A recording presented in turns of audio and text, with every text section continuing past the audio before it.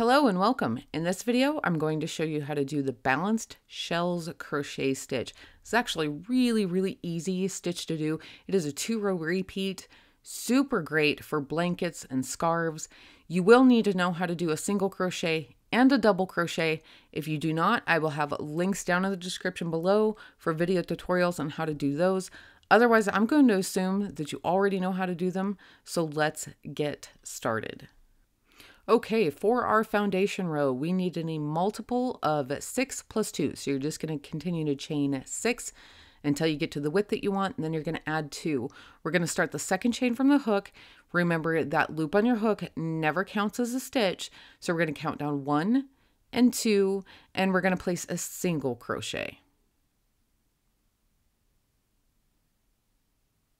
Now we're going to skip two chains and in the third chain, we're going to do a total of five double crochets. So here's number one.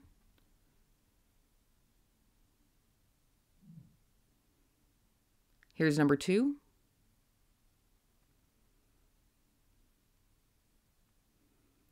Here's three.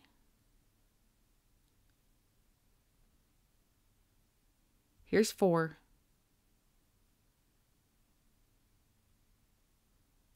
And 5.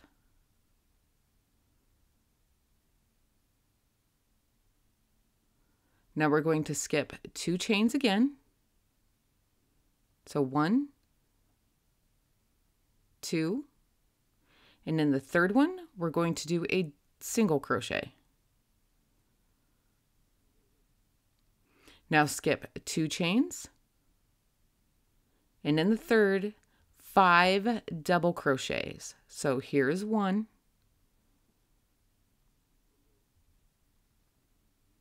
Here's two. Three.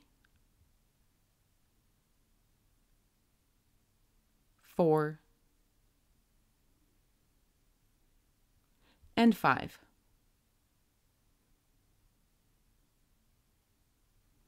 Again, skip two chains, and in the third one, do a single crochet. Now you're just going to continue to repeat these across the row until you have three stitches left at the end of your row. Work those and I will meet you back here.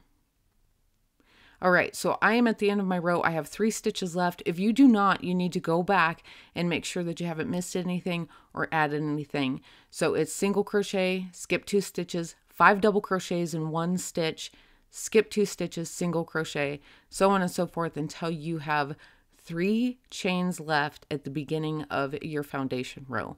I do, so in that last chain at the end of my row, I'm going to work a single crochet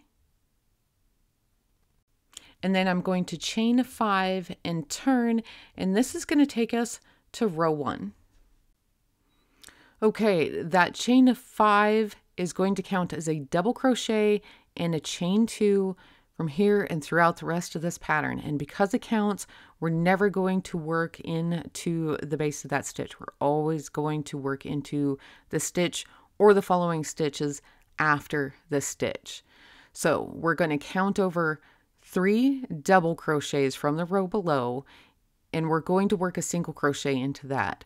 So count one, two, and in the third one, work a single crochet. So you're right smack dab in the middle of those five double crochets. Now chain two and skip two stitches from the row below, so two double crochets from the row below, and working in the top of that single crochet from the row below, do a double crochet. Again, chain two,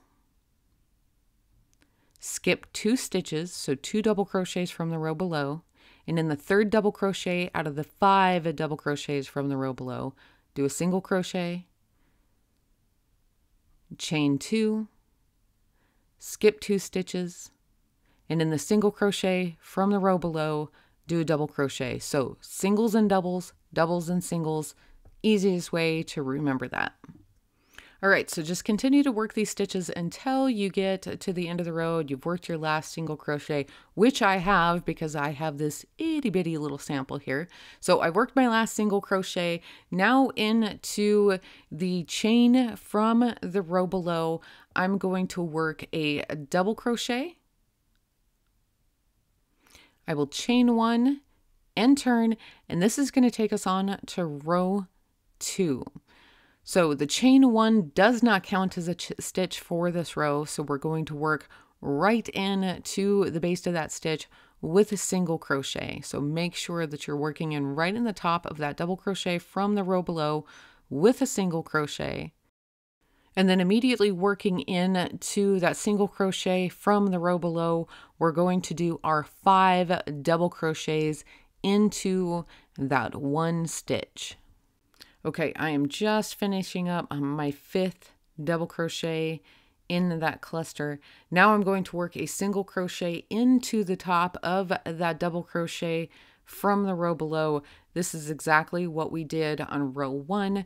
Now we just have more rows to build on. So again, five double crochets into that single crochet from the row below, then single crochet into the top of the double crochet from the row below, and that is it. That's all there is to it. From here on out, you're just going to continue to repeat rows two and three until you get to the length that you want, and you are good to go honestly, that's about all there is to it. Super easy. Once you get the hang of this, it goes really quick. And if you can do a granny cluster, you can totally do this. And that is all there is for me today, folks. If you missed anything, feel free to go back and rewatch. I will have a link down in the description below for written instructions for the Ruby Grace Stitch Library for this pattern. Thanks so much for stopping by. Love your face.